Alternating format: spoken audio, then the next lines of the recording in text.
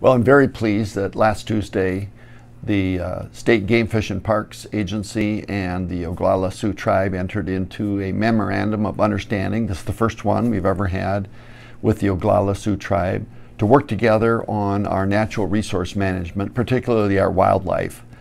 And this MOU is going to allow us to work together on habitat management, uh, predator management. We're going to share training we're going to share information, and it only makes sense that uh, we work together. Uh, our wildlife doesn't know where the political boundaries are or where the tribal or state boundary lines are, and so we need to work together to manage that wildlife for the benefit of all our citizens.